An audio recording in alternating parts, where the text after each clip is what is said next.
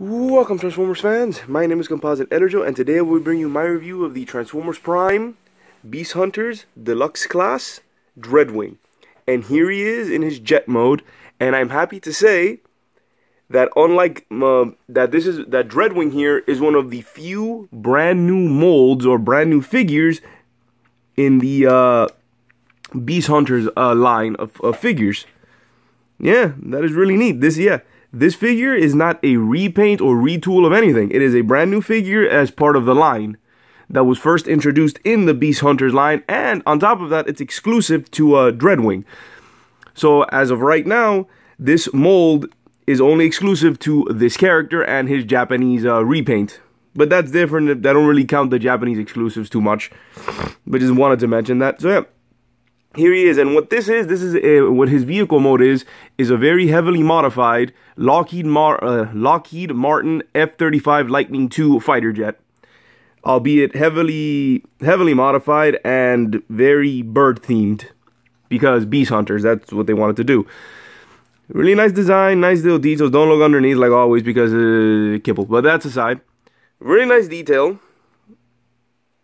I guess big. I guess my biggest complaint is that you can see the hands of the robot mode and the feet, and that's about it. If they found a better way of hiding that, I I think it'd improve the figure quite a bit. Um, he does have some landing gear, which is this piece right here, which can fold up and down, and you just fold it back up. And even has some molded in landing gear right here on where it's the, uh, you can tell these are the legs on his robot mode, like knees or shins.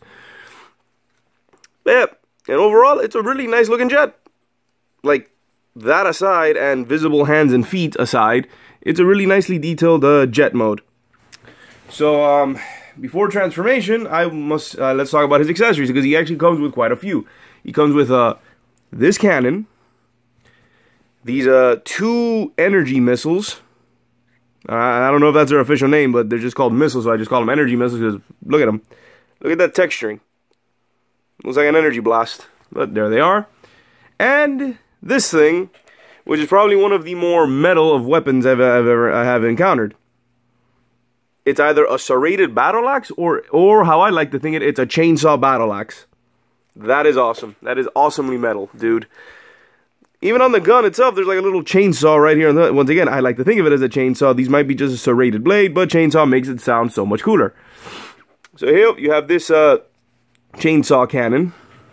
It doesn't fire chainsaws, unfortunately, but it is spring loaded, so you just put the missiles in there, pull this, pull this thing, and fires the energy missiles. And that's about it. So to store these things, to store these on his uh, vehicle mode, there's like a tiny clip here, which you can just wedge these um. And there we go. Just wedge it there on the wing, and repeat on this side wedge there. There we go. For the cannon, simple enough. You just plug it on top onto this port. There you go. And for the battle axe, it's a bit more interesting. You can you can shove. You gotta shove it through this uh this port right here underneath the cockpit. Plus, you also need you also need to have the uh, landing gear folded up for this to work.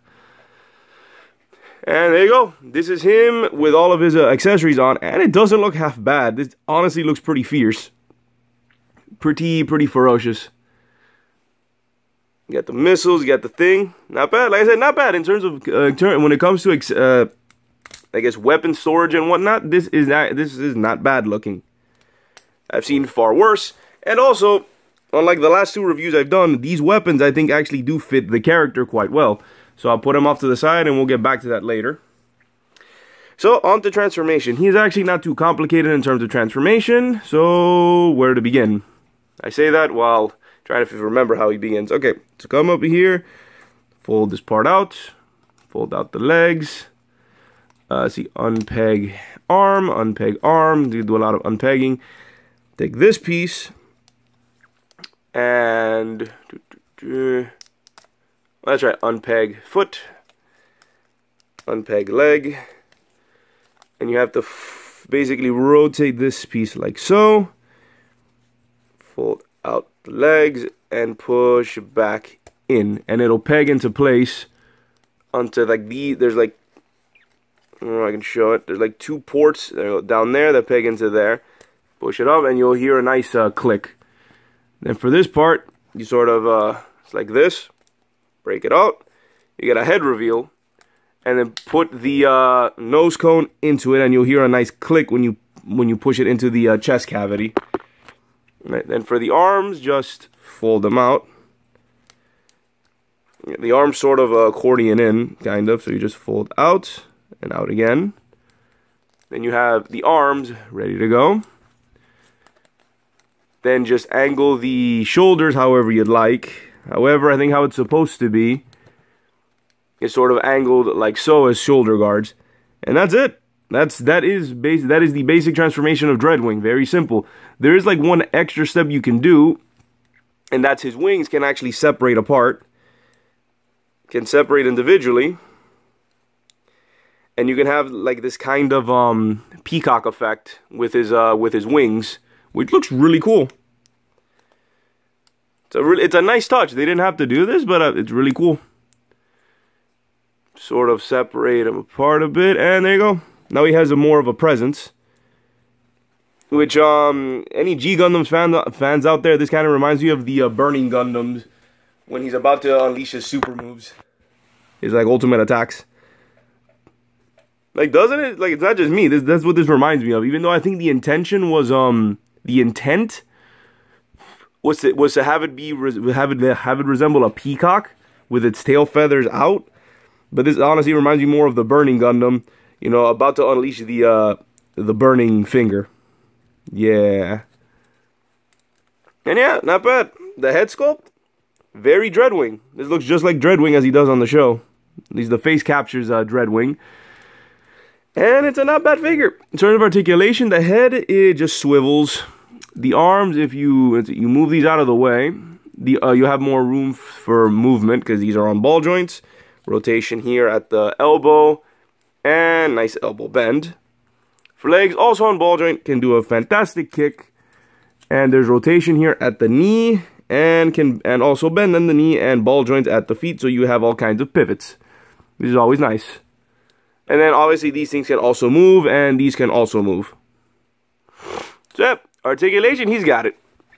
I think he is a little bit stilted in the movements because of all the stuff he has on him. Like you have to work with these in order to give him more uh, movement in the leg because they sort of interfere a bit. Same thing with the back wings, but he's got the articulation. He's got it, and he also has some light piping, though it's not really, hold on. Yeah, you can kind of see he's got some nice, he got some little red eye, uh, light piping, so it's not bad. So let's get on with his uh, accessories. Let's bring those back because they actually have some some more stuff with them. So you have this, simple enough. You have the uh, cannon. I guess if you really want to, you could sort of put these up here. Like, if you really want to. Looks kind of silly, so I don't, I don't particularly like it. Look, just have the weapon, plug it in, and this is sort of the simple way, simple way of doing this. You just have them there, hold it, take his battle chainsaw axe, hold it, and there you go. Simple enough, but then you have this uh, other missile here, just cause. However, there is something else you can do. You could also plug, plug this onto his arm to have a sort of Megatron-esque fusion cannon thing going. It's another option. But then here's the interesting thing. These two weapons can actually combine together. On this back part, which I think at first when I had gotten this figure, I started doing this. Because I thought this was how it was supposed to be. Like this. And like this. This is how I combined them together. I think the first time. And I said it's an option. This is not in the this is not like the official way of combining them, but this is how I I did it when I first got the figure. There we go. You can have like this entire mess, which you can barely hold, which you can't hold. Well, you can hold his hand, but you can't lift it. So that's something. But this is not what you're supposed to do. I found out a while after how it's supposed to be is that this you just set off to the side. Then this, oh no, not this, this. Uh, this is the front. You plug this in back here, all the way, and then you have them hold it like this.